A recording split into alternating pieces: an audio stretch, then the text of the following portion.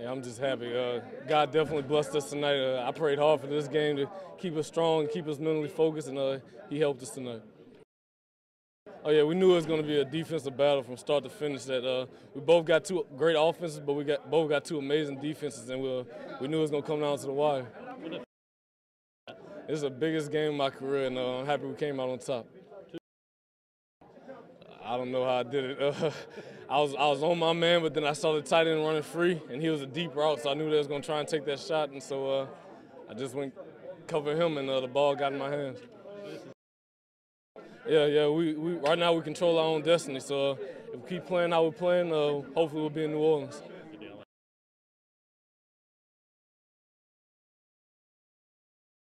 I mean, uh, I don't think I've ever been involved in a game like this.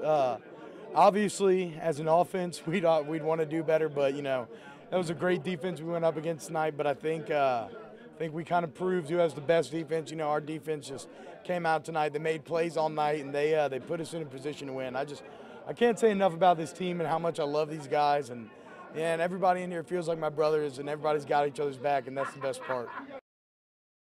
Yeah, you know, I think a lot of people expected these two defenses to show up and see what the offenses could do. And uh, like I said, we want to be better, but you know, I think uh, I am proud of our uh, of my, of my guys when uh, when it was overtime, you know, and the game was on the line. They came, we, we came to play defense and offense, and I think that just says a lot about this team's character and a lot about this team's grit.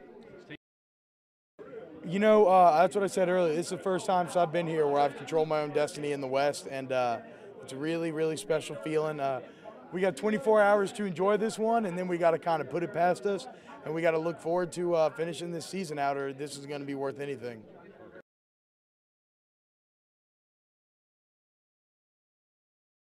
Definitely got to give praise to God for letting us come out with that. And like you said, it lived up to the hype.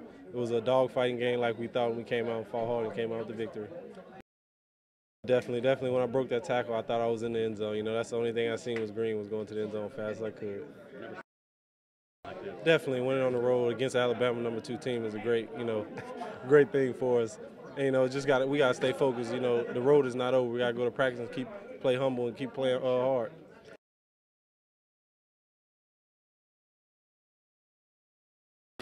You know, definitely. You know, uh, our coach preaches, Coach McGaughey. You know, every week. You know, ever since the start of summer, start of spring, he was like, you know, there's gonna be some games that's gonna come down a kicking game, and uh, you know, we took that in and uh, we ran with it. You know, practice every game, every situation. We always put in our mind, uh, you know, game-winning kick. You know, punt backed up, you got to get it off like Brad did tonight, which uh, he bombed 72-yarder. It was amazing, and um, you know, it was a team effort though. I mean, yeah, special teams, you know, played big, but also offense and defense played big too.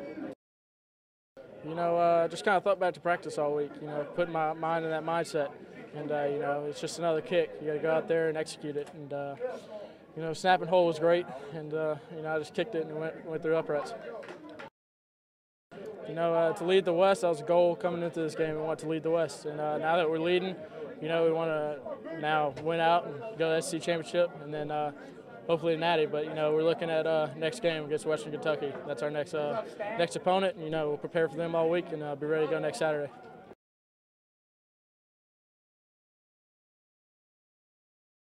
Yeah, you know, every week special teams plays a role, and obviously this week we knew it was going to play a bigger role. You know, just as uh, just as important as offense or defense, and we knew that coming into this game, and we knew they they were great as well um, in their special teams. Um, so we, we, we, really just uh, prepared like every other week. You know, we didn't want to go too off course and try and change things up too much. So, you know, me and Drew always mess around about making the game-winning kick, and I have all the faith in him in the world. You know, I, I prayed that it came down to Drew making the kick because I knew he'd make it from anywhere. Yeah, you know, I'm happy that I can just help the team. You know, uh, whenever I do good, it, it reflects on the team. It gives uh, the defense good field position and gives their offense bad field position. Um, so just to eliminate their return yards, you know, I have, I think I have the best uh, coverage team in, in the in the nation. So I'm very grateful for that. Um, it's just a great team effort.